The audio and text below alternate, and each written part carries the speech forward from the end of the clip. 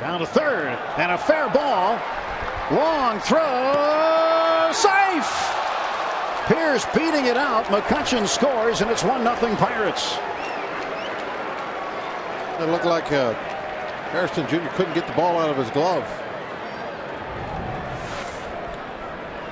Now he makes a great dive and stop and prevents extra bases. But right there, it just fumbled it just for a moment. And the uh, the bang bang play at first. Terrific stop by Hairston. You can see there he went back and reset the ball in his glove.